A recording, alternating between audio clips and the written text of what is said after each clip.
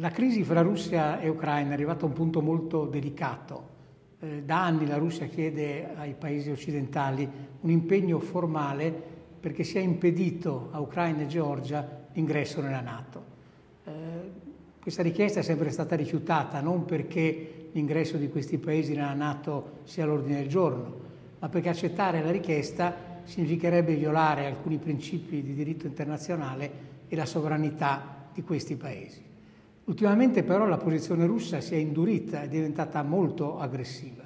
non solo richiedendo il congelamento di qualsiasi cooperazione militare dei paesi occidentali con l'Ucraina,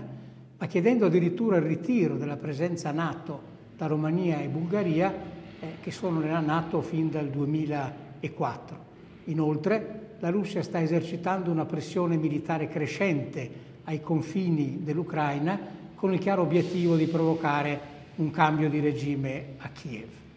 E questa situazione crea per gli europei un costo immediato ed un rischio per il futuro. E il costo immediato deriva dall'impennata dei prezzi dei rifornimenti energetici, particolarmente pesante per paesi che come il nostro dipendono in larga misura dalle forniture di gas.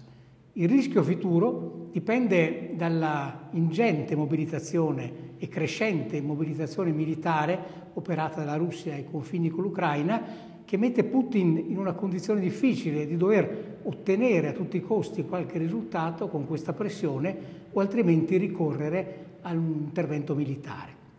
E questo dipende dal fatto che dietro la posizione russa non c'è solo la preoccupazione dichiarata per la difesa e la tutela dei propri confini, ma c'è anche l'innata propensione imperiale che la caratteristica russa, dall'impero zarista all'Unione Sovietica al regime di Putin di oggi, impegnato come a cercare di ripristinare un controllo totale sulle aree e sui paesi che facevano parte dell'Unione Sovietica ed oggi sono indipendenti.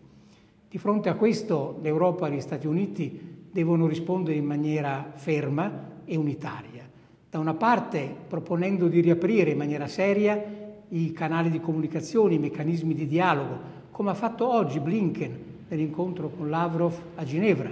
dall'altra però facendo capire in maniera inequivocabile che un'aggressione militare di qualsiasi tipo all'Ucraina comporterebbe delle sanzioni, come si è detto, senza precedenti. E per il futuro l'Europa dovrebbe finalmente prendere in seria considerazione la necessità di dotarsi di una capacità di difesa autonoma, per essere in grado in futuro di gestire crisi come questa, anche in assenza degli Stati Uniti che potrebbero essere disinteressati perché coinvolti in altre crisi, in altre aree geopolitiche nella loro competizione globale con la Cina.